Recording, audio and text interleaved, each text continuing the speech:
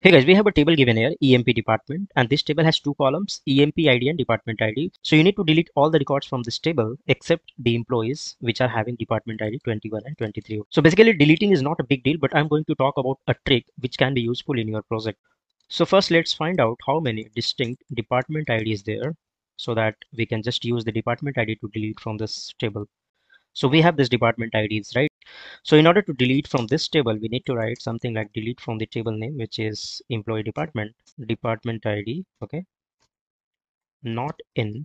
But what if the total number of department IDs is not to it? Let's say it is more than 50, then what you can do? So have to convert your department IDs uh, from here into comma separated, okay? So let's see how you can do string aggregate, okay?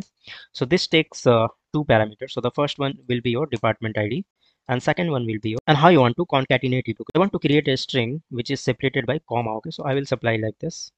But here is a problem guys. It will give you all the department ids not only the distinct one. If you see it, it has given all the 100 department id so how can we find out the distinct? You cannot apply distinct here because uh, this function does not support the distinct okay? So you have to use a subquery okay? so let's call this as department aggregate okay? And then here we can write from and then we can use select distinct.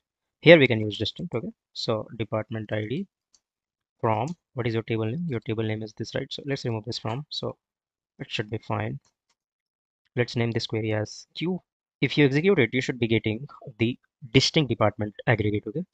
So now you can copy and paste it from here to here. So the point is how you can convert your column result into comma separated string